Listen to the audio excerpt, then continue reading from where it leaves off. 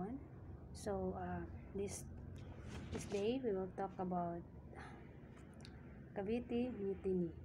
So, uh, first, we will uh, talk about the uh, main issue about the controversy, no?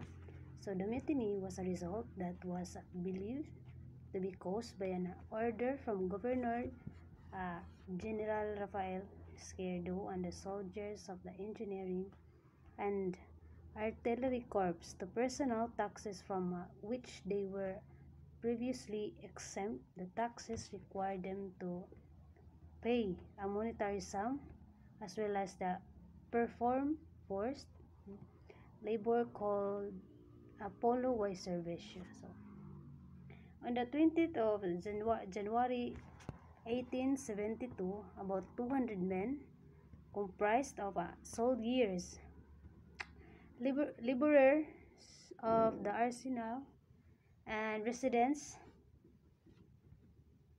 of Cavite headed by Sergeant Lamadrid rose in arms and assassinated the commanding officer and Spanish officers inside.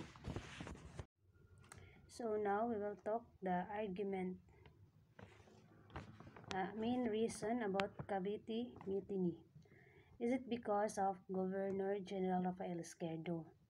And it started because there was dissatisfaction among the workers of the arsenal as well as the members of uh, the native army offered their privileges were drawn back by uh, Governor General Izquierdo.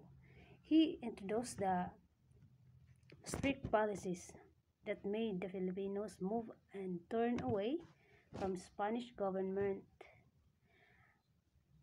So, uh, Izquierdo and uh, Friar's opinion of the public, a number of Filipino intellectuals were decised and accused of complicity with the mutineers. After a brief trial, three priced uh, Jose Burgos, Jacinto Zamora, and Mariano Gomez. They executed publicly. Because for uh, General Izquierdo, they had convenience happen the time about the mutiny. General Izquierdo executed the three pressed. General just misunderstood about the press he thought he thought thus.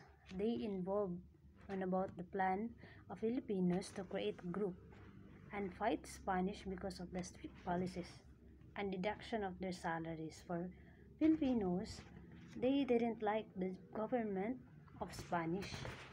That's why for them the solution was to fight Spanish and turn away to their country